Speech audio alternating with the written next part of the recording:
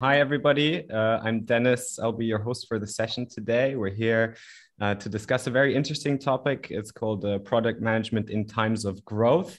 Um, as we all know, um, yeah, scaling your business and especially product departments is probably one of the uh, yeah more difficult things to do. Um, I'll actually keep it very short. Um, my task today is to uh, monitor the chat, um, so please ask lots of questions, and um, we'll forward them to the speakers at the end of the talk. And otherwise, Tamer will be your moderator today.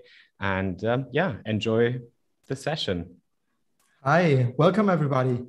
Um, yes, as Dennis mentioned already, we're going to talk about how product management needs to be done in times of growth. I mean, product management in itself is extremely hard, but the moment the company starts to grow and grow massively, um, the challenge becomes a different game.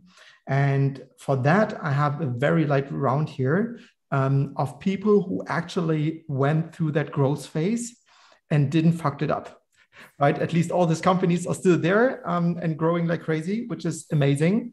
So um, let me just like start by introducing our guest today. And I would like to start with Sebastian. Uh, Sebastian Dziubiel is um, the director of product management at Homeday. And Homeday is a real estate company in Germany um, digitalizing the entire home buying and selling experience. And he joined Homeday in 2017 when the company was about 30 people big. And they grew it over the time to 250 people in the core team, plus 200 people um, as realtors who needs to be counted in as well.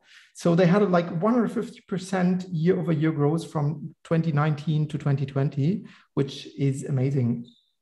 Um, my next guest is uh, Fausto Maglia. He is CPO from Casavo. And Casavo is also in the real estate uh, business and originally running the so-called iBuyer model, which is um, buying properties and then selling it in, again in the market and not brokering it directly. And now, after expanding a lot in Italy, they're now growing also internationally. And there they grew this um, the team from five product contributors to over 70 today. And they showed a 4x increase during the last year in terms of um, uh, revenue. And he joined actually 2018. Um, but first of all, in the uh, position of a head of marketing, and then uh, moving over um, to become the CPO of that company. Um, so with us today is also Simon Brugger. Um, and Simon is working um, for Spryker. And Spryker is an e-commerce software that hopefully outperforms all the Shopwares and Magentos of the world because it's a pain. Um, and they have been now 400 employees and growing each year 100% um, in terms of employees. And he's been with the company since 2018. So also been through a big part of the journey where the company grew a lot. Um, and then we have uh, Rob Krasowski with us. Um, he is VP product at a company called Dixa, and Dixa is a customer service platform where they're just going to put the customer more into the center instead of just like doing customer service.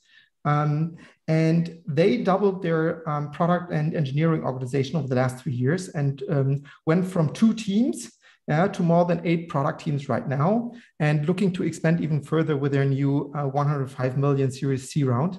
Um, and uh, Rob is fairly comparably new to that company. Uh, so he joined in 2020.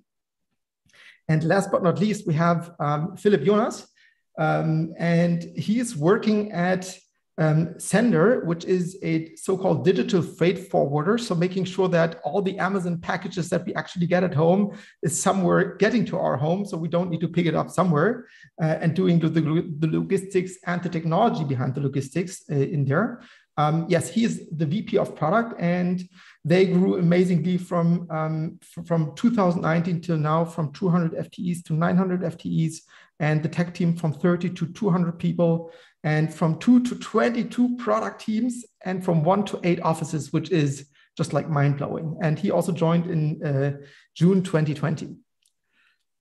All right, cool. Um, so I would like to start with the most important part of any product organization. I think these are the people that are actually working in, in the product organization.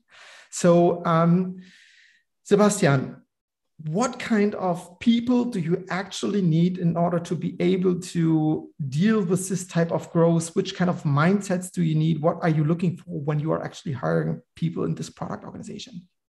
Yeah. So you're talking from from the experiences that we, we made, right? As a small company that wants to grow, you are not obviously in a position where you attract the product icons, you know, the the, the, the big the, the big phases of product management and you need to hire for i think for entrepreneurial people who have the right mindset who are willing to grow who are kind of structured in their thinking but also entrepreneurial and can be hands-on and get their hands dirty. I think this is an early phase what you what you must have and then you can coach them into what product management actually means and grow with the company and grow their their skills as well um, but this I think was was was the the key to enabling this growth. Um, not having people who are very set in how is product management done and super experienced, but rather higher potential. And obviously, you need then to accompany that with the right knowledge and the right coaching to to bring people there. But isn't that a big problem to have, you know, like this entrepreneurial mindset people and then putting them in an organization where you probably need a lot of structure, but where this kind of mindset might not you know, be the thing that they can live by on a day-to-day business, or is that wrong?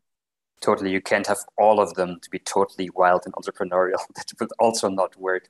You need some people keeping the structure in place and um, giving a raising a hand basically when things get that get too crazy, and coach them really on product management, what it means, right? But people who are eager to learn will actually suck up this knowledge quite fast. And there's so many good knowledge sources out there um, in these days that this is actually quite easy. You need, you need talented people, smart people, people hungry to grow, and they will figure it out. This this is my stand on it. So, what do you actually do in order to coach these people? How do you onboard them? What do you what do you tell them? What do you say? Do you say like, "Hey, this is your project. Go ahead, just like try to figure out your way," or do you have a very structured approach to just like teach them the basics of product management up to uh, whatever they need in the future? Actually, the moment I give them an offer, I send them inspired the book and tell them before you start, you please read that and and know all of what's what's what's in there. So this is the first step. then second step is basically uh, writing an onboarding plan. So we always have these 30 days onboarding plans, and usually they say it takes six months for a product manager to get onboarded, but I think it can be faster. You just need a very structured plan linking to all your resources, knowledge resources internally, connecting them to the right people up front or right, right, right in the beginning, and um, then then they will, will get to work. And then obviously continuously you have the one-on-ones with them where you speak about experiences, support them and what they do, and g- give them hints, especially to juniors.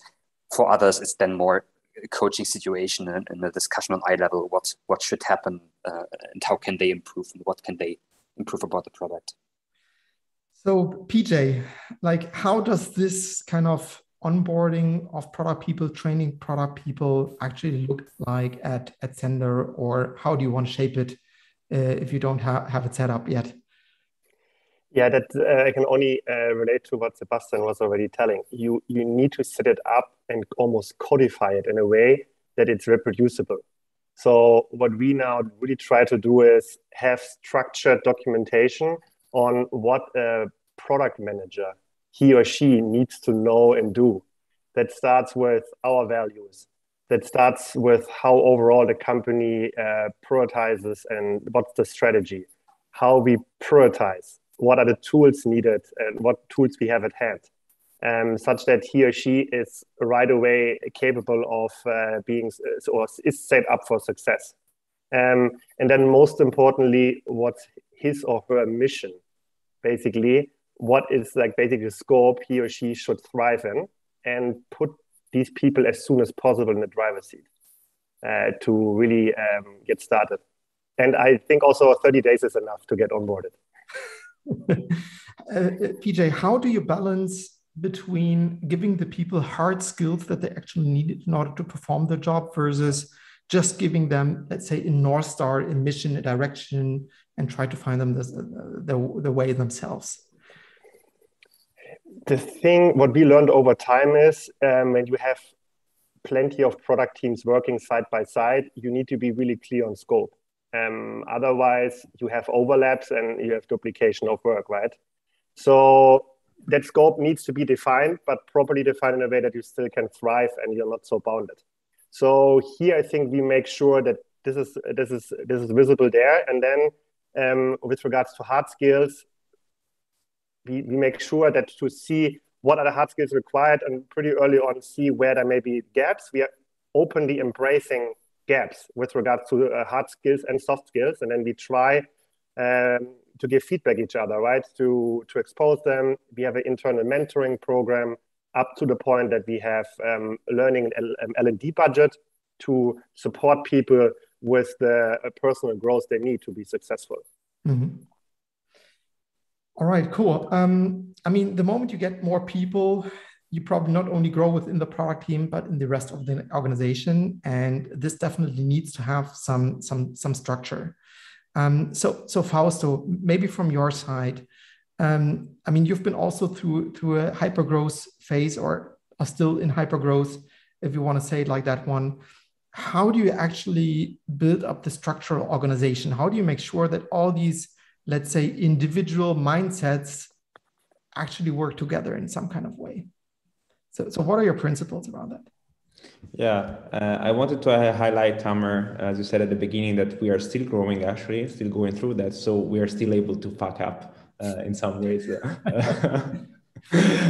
uh, anyways, to answer your question, um, you know, we, we have these. Um, starting from uh, the literature and what uh, very experienced people and very knowledgeable people uh, have seen uh, during their careers, we created these uh, organizational model that we call uh, a fractal model so that we have very clear structures that replicate themselves and that are very audience oriented.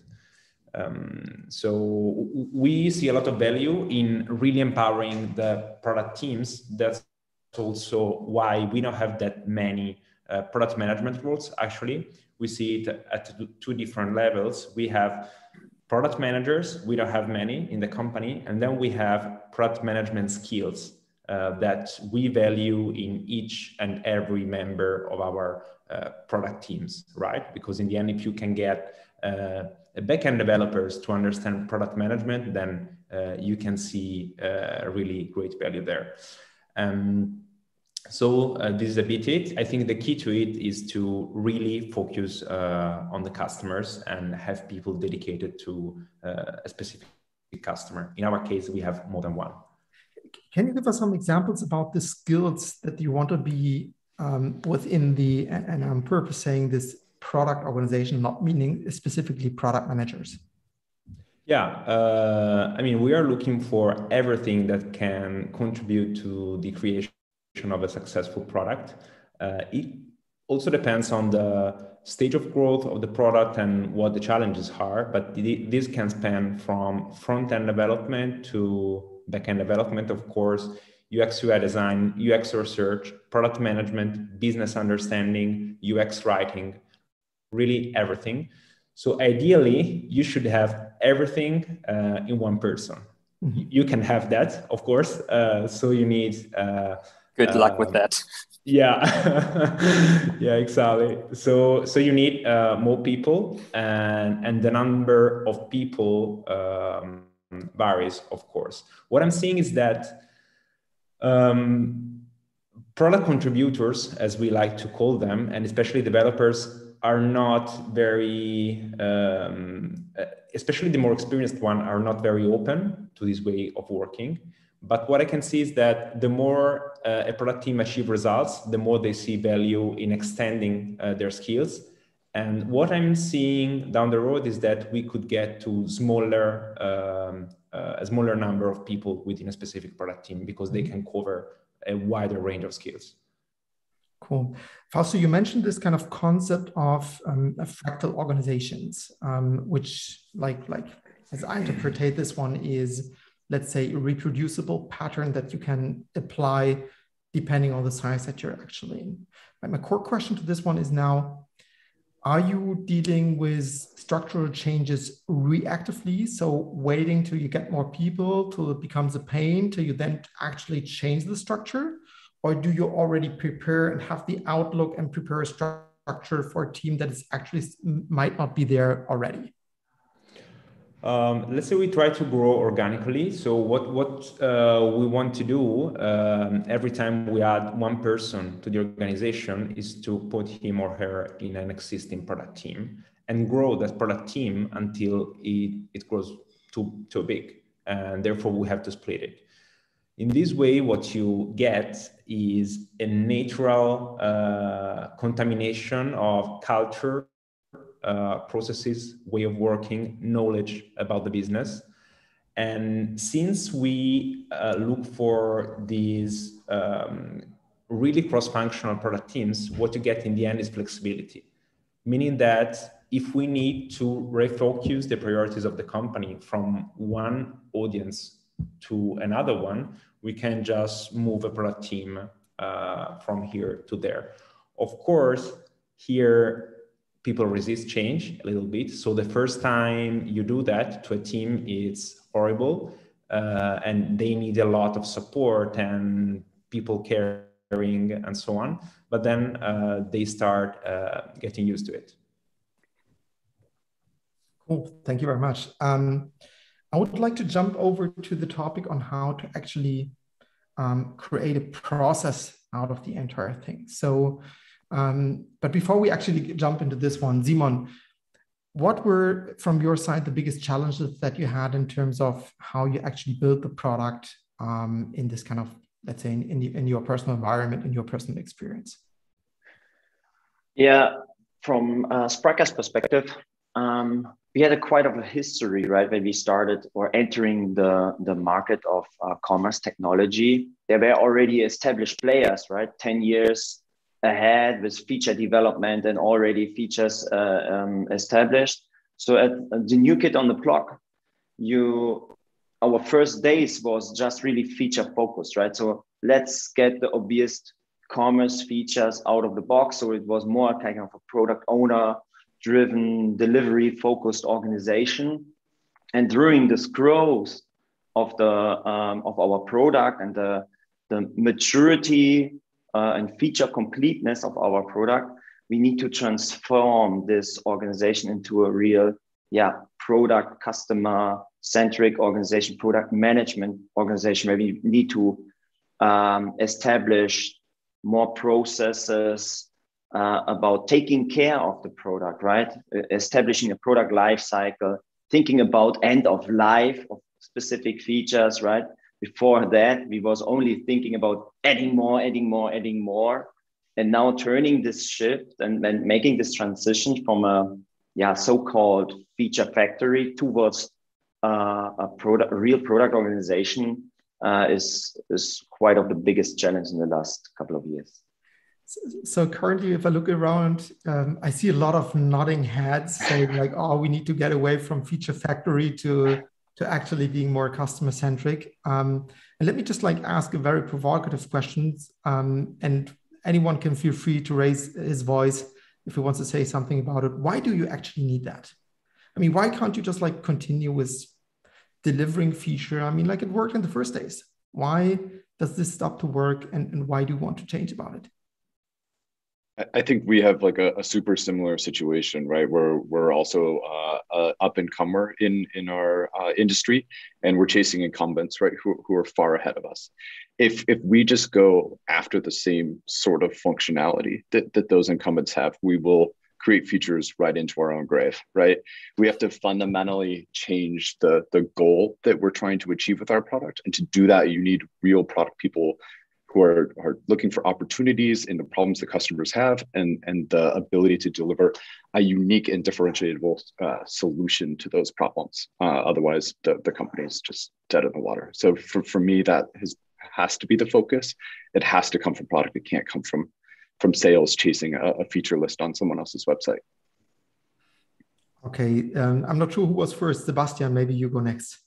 Yeah, just want to say we also went through this phase of being rather feature factory and now uh, in the last years moved more towards the empowered team model. And I think that's not so harmful. Um, I think the reason we, why we move towards empowered teams is because the feature factory model is not scalable.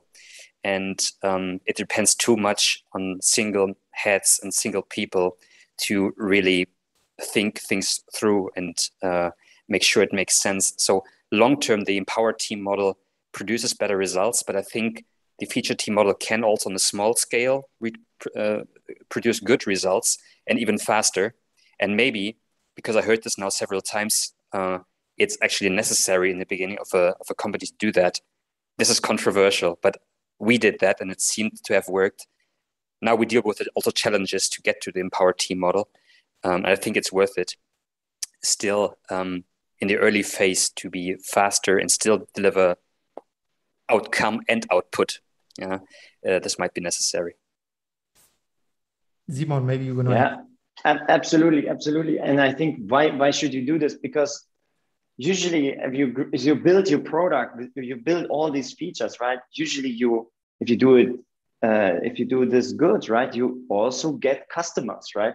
and as long as as soon as you get customer, then you should implement uh, or you need must definitely implement these customer centric um, processes in, in in touch points to to listen to them to adapt your product to build a strategy because customers are also demanding in every good relationship is always a kind of a give and take right? You need information from the customer and the customer wants to have also the strategy and your vision how you think further uh, your product vision and what are the next steps the next releases how do you want to to change the product strategy most likely and all the stuff and i think that is uh, a pretty important part and here in at Spryker, we also have a kind of a special situation because we have, at the one hand side, product managers we are, which are taking care of the core product, uh, the commerce platform. And on the other side, we have also a professional service team but doing directly the, the, pro, uh, the project with the customer and implementing the technology on customer sides. And here we have in the product uh, management team, product managers sitting next to the customer, acting in the projects as product owners and get real world insights of how our product is applied and used on the customer side, right? Mm-hmm. So that we can also get direct feedback from our own colleagues working with the customer together, um, establishing the um, the, uh, the, the technology and in, introducing Spryker on on on on customer side, which is really important and valuable, and that are actually the most uh, most important feedback what we what we uh, receive to steer the product. So the customer talking to the customer is actually the the big one voice that you should listen to in order to build your product into the right direction. Um, uh, PJ, what's your take on that? And I would then also would like to move on to how do you make this actually work? Because you know, like moving from let's say feature factory to a customer centric company, is not an easy thing because there's tons of people out there who might not going to have this, let's say, product thinking, product skills, being able to actually take that shift. How do you actually do that? Um, I think it's with a lot of education. Quite naturally, if you have a company where there are um, a large part is in, um, located in the ops or in the business side, they have in their mind already all the features they want, and they just throw them over the fence and say, "I want this feature," right? And as a product manager, what you need to do then is carefully listen um, what are actually their needs and what they really want to achieve with it, and then go with them in, into like a process of figuring out what is really the right prioritization and always always involve also uh, the end customer to it right? And here's the thing in the end uh, you have to balance both both sides that um, you you know what the business wants, but also ultimately your customer, what he or she is, uh, what what are their problems and their needs, um, and also educate your product managers. It's not about shipping features, right? You don't want uh, not all the time. You want to ship outcomes. You want to delight customers, um, and then um, this makes a true product successful without diluting the uh, without diluting the value proposition right because in the end if you have all these features what is then your product it's like everything and then it's hard to use it's complex and then you are just again one of all these other products with no real edge no real uh, usp Um, and that's really where you have to rather say no than yes to a lot of things. All right. What what else can you do beyond of, or what else do you do in beyond of like educating the people trying to move the ship around? Sebastian, maybe you. I think it's a lot about team collaboration and yes, collaboration with stakeholders as well. But I would like to speak about collaboration in the team um, because uh, there's a lot of trust needed between those players. And um, Fausto said everybody should have some skills on, on all levels. This is a good idea. Um, I think when you, you hire people, you have certain expertise that you hire, and people have to trust each other's expertise to do each other's job well. So it's basically cl- clarifying those roles, setting expectations, what we expect from those roles, the product manager doing a proper problem discovery, the designer not only designing UI, but doing solution discovery yeah going in, going also out with the customers and, and seeing what's what creates value not only usability. So um, clear roles and building trust in teams is crucial but it's not easy especially if there's a history before that and uh, i know from the past and i spoke about this feature factory model before we were once in a situation shipping a crm system in two to three months and it left behind a lot of burned ground between product and engineers and designers. So we have to be careful with what we do in these phases where it's really rushed and really gets gets crunchy, um, so that people can can move back to trust each other and collaborate. Simon. Yeah, what uh, what we also learned is that uh, ed, when it comes to education, there are a lot of like like Sebastian already said, right? There are in, entrepreneur uh, mindset uh, people out there which are really humble and they know uh, or they they are get really fast to the standard tools and setups of, of, of product management. What we see, what is more a, a bigger challenge is not to educate them on on product management due to the a lot of materials out there. It's educating for our own product right? So what is our product? How does our customers are using the product? So and we started to also uh, assign the product managers uh, for uh, two weeks to customer support right? So they so that they sit next to the customer support uh, colleague and really get get all the feedback all the the the, the tickets see what what our customers are complaining about what they are struggling with right so it's a good uh, uh, it's a really good point or a really good chance to educate the people about your product, right? And not about the product management and product management process and all the stuff. That is also something what uh, what comes with the onboarding, but it's more important to to to educate them for us. How, what is the product? What the customers are struggling with? What are the customers actually, right? And what problems does our customers try to solve with our product? Cool. Um, Rob, I would love to jump on another topic um, because we've been talking about that the idea of empowered teams is something that is a let's say a common ground common sense because the centralized organization won't scale in that way. How do you actually make sure that the entire company is running into the same direction? I mean now you have like 20 different product people looking for some customer interviews and potential opportunities that they can chase. How do you do that?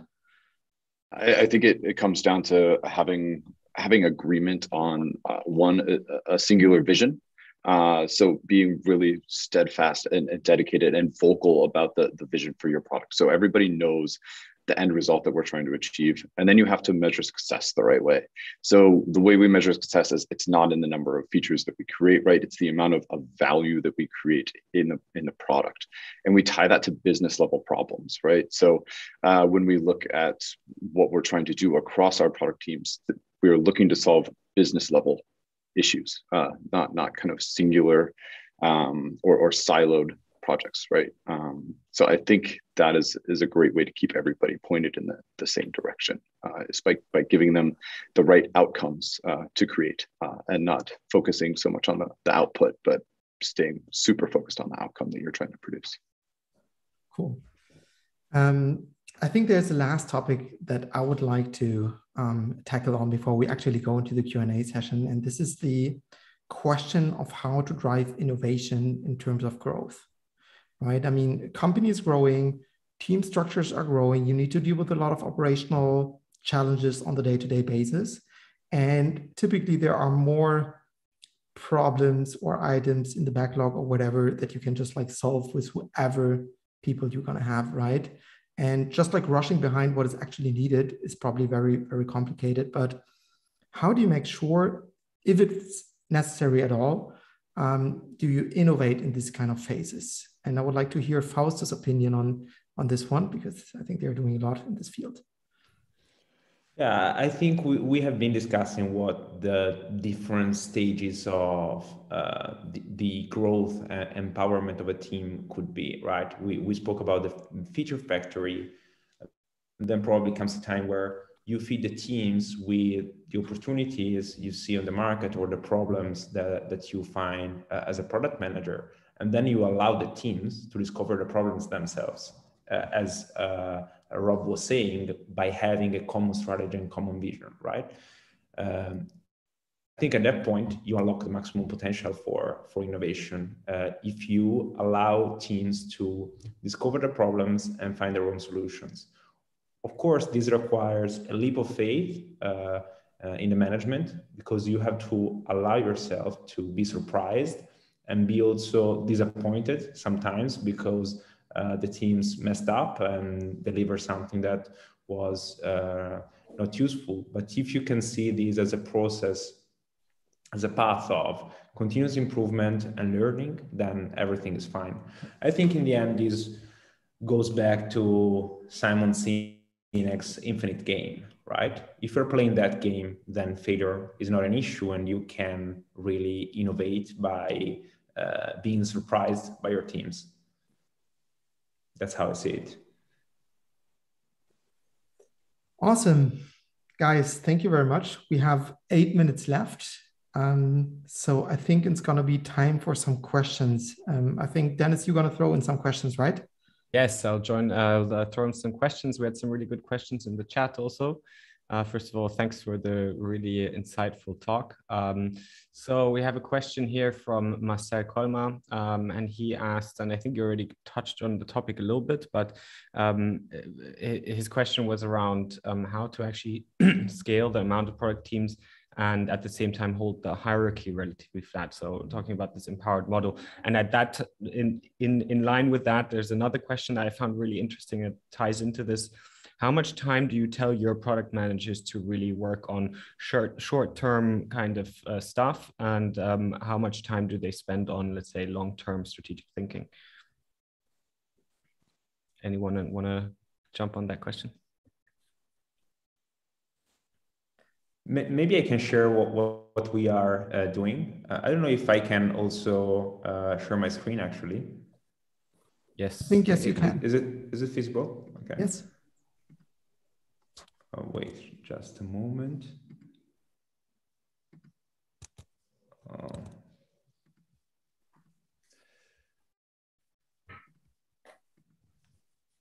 So um, here you can see what, what I was talking about previous, right, previously, right? The fractal model.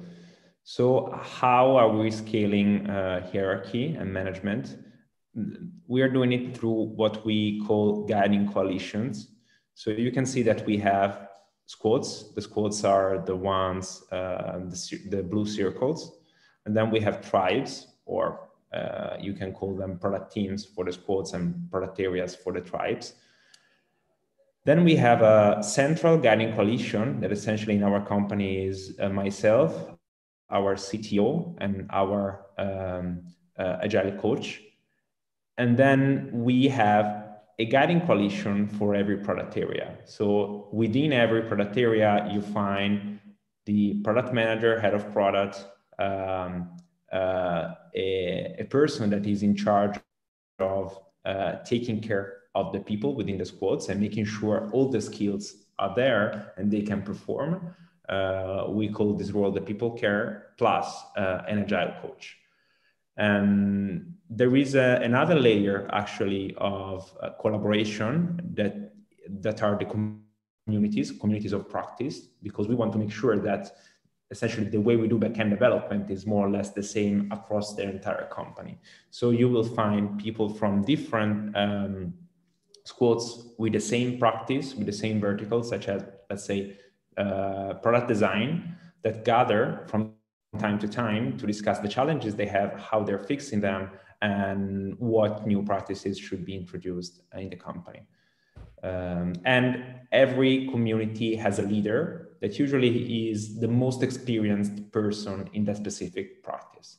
So we have these two different levels uh, of uh, collaboration and let's say management or alignment around a common practice. Great, thanks a lot. Does anybody else want to um, also jump on that question? Otherwise, I have uh, another couple lined up.